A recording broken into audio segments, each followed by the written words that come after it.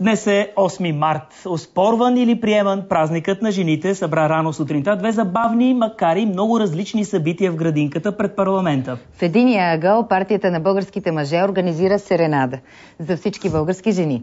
А точно срещу тях се настани една модерна артистична инсталация от червени боксови ръкавици с послания за женските проблеми. Какво си казаха двете страни как минувачите оцениха празника, вижте в един женски репортаж на Петя Тетевенска и Янна Андреева. Това е все още репетиция за серенадата, която по-късно ще започне пред самия парламент. Имате ли разрешение?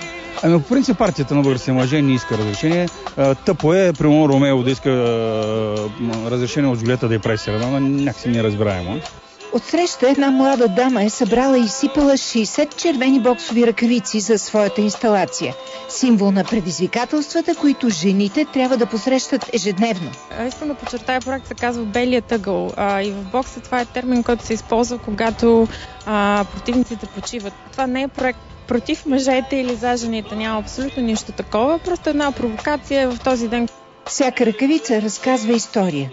Тези лепенки казват много неща. Тези лепенки са на тема домашно насилие. Тези лепенки са на тема аборти. Тези лепенки са на тема равенство спрямо мъжете в заплащане. Тези лепенки говорят за проблеми.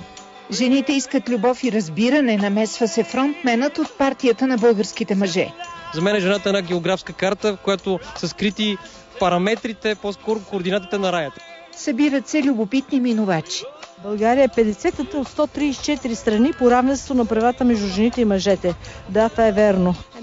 Харесва ми тази инсталация. Казаха ми, че тук пише на всеки две раждания има един аборт. Човек не си дава сметка за тези неща, ако някой не му ги каже.